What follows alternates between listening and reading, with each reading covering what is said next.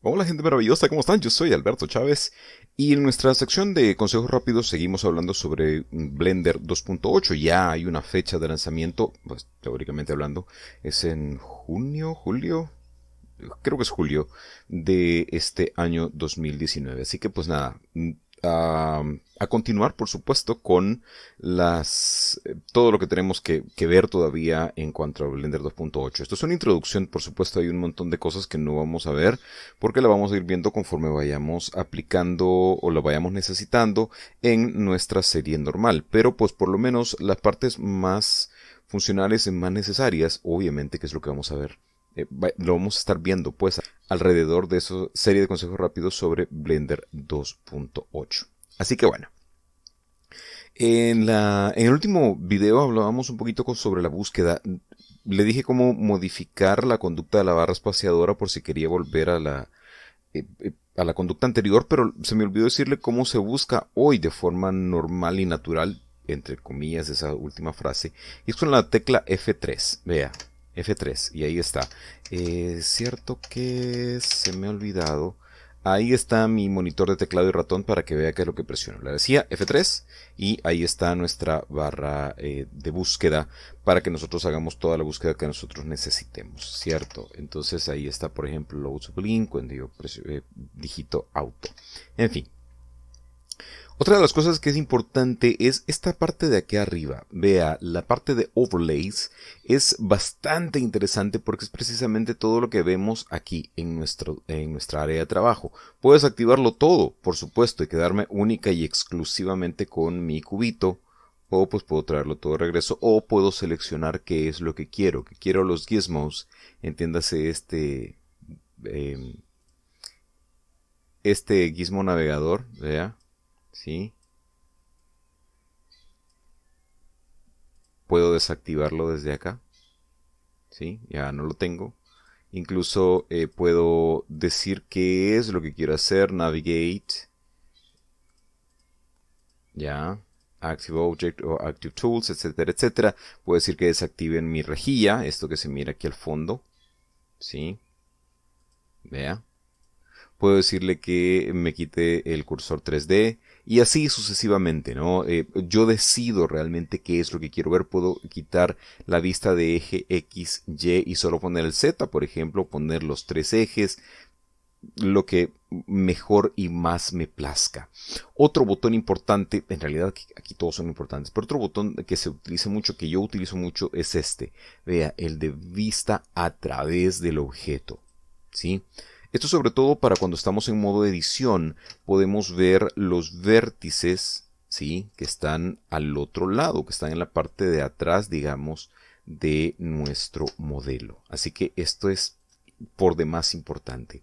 Ahora, estos cuatro botones que tenemos acá son una de las adiciones más importantes. Es decir, hay unos que ya estaban, pero hay otros que son una adición tremendísimamente importante. ¿A qué me refiero? Vea, si me voy acá, veo la vista de alambre. Vamos a agregar otro objeto simplemente para tener algo más que ver. Ahí tenemos a Susan, que la voy a mover para acá. Y pues para que usted vea que esto es exclusivamente la vista de alambre. Ojo, esto no afecta a nuestro renderizado, que conste. Eh, y, eso quiero recordarle. En estos momentos estamos viendo exclusivamente el viewport. Entiéndase el área de trabajo y cómo podemos eh, cambiar la vista, no así el renderizado. El renderizado, para renderizar en alambre, pues ya hemos visto que hay un eh, modificador que es el de wireframe, este de acá, que eso ya es otra cosa. De acuerdo, puedo salirme de mi vista de alambre, puedo irme al de sólido, a la vista sólida, que es la siguiente por cierto, y ahora este sí ya modifica por completo mi objeto, pero esto es a través de un modificador, no a través de esta vista de alambre. Quiero que vea la diferencia. Bien, lo siguiente, el siguiente botón es eh, una adición bonita. Vea, aquí estamos en la vista de viewport. Déjeme agregarle un material a esta muchacha. Y le voy a decir que es un metallic.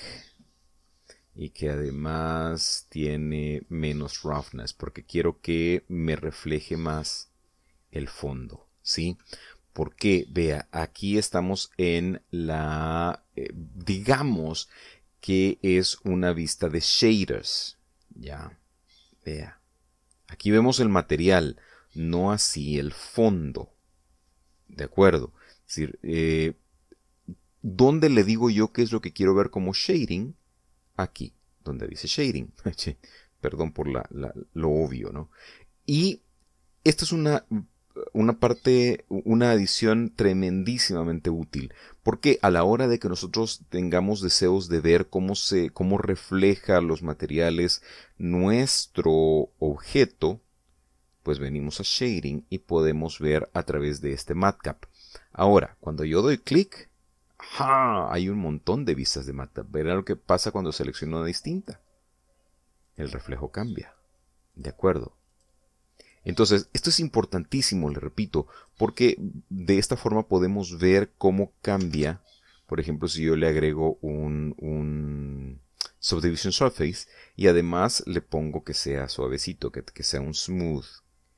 ¿Ya? Y vea, yo voy a cambiar el matcap y vea cómo cambia el reflejo que mi objeto reflectante, porque el otro no es, que mi objeto reflectante me da. Es tremendísimamente útil. Ahora, Todavía no vamos a meter a ver a Eevee, pero cuando yo doy clic en el último de los botones es esto que veo acá. Es básicamente lo que yo voy a ver a la hora de renderizar. ¿A qué me refiero? Le voy a cambiar el color, por ejemplo, vea, aquí está verde. Cuando yo doy F12 para renderizado, ah, está verde. Si usted ve, es exactamente lo que eh, vemos a la hora de la salida ya renderizada de nuestros objetos. De acuerdo. Entonces es importantísimo tener en cuenta, por ejemplo, yo le quiero poner un transmission, ok, no hay ningún problema. Pero si estoy en Eevee tengo que eh, venir y pues decirle que tengo que activar un par de cositas adicionales. También en la parte de los materiales yo le tengo que decir que es Alpha Blend para que realmente pues aparente esa transparencia que yo necesito ver. Pero en fin, todavía no nos vamos a meter en Eevee porque eh, pues hay un montón de cosas que decir con respecto a Eevee. Y eh, quiero que quede claro, mayormente vamos a ver también eh, la parte de Cycles, por supuesto, que aquí por defecto viene Eevee si yo cambio a Cycles.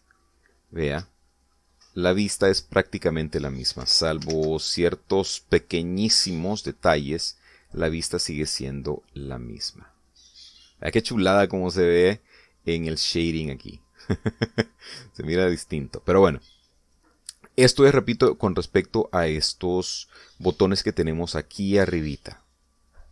Déjeme ver cuánto llevo grabado. Ya, llevo demasiado tiempo. Así es que, como siempre le digo, si es usted la primera vez que viene por acá, sea bienvenido, sea bienvenida, quédese, suscríbase que es completamente gratis y pretendo seguir haciendo estos videos por lo menos un par de días a la semana.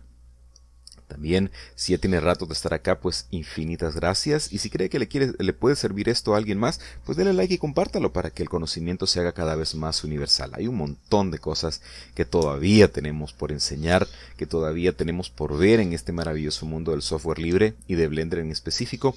Así que pues quédese. Dele clic a la campanita para que usted sea notificado cada vez que yo suba un nuevo video. También si me quiere seguir en las redes sociales, pues las direcciones aquí abajito en la caja de descripción, junto con mi dirección de Patreon, por si usted se quiere convertir en uno de mis maravillosos y amadísimos benefactores, cosa que yo le voy a agradecer un montón. Si usted quiere y puede, pues vamos, no hay cosa que yo le vaya a agradecer más, excepto pues por supuesto su simple atención.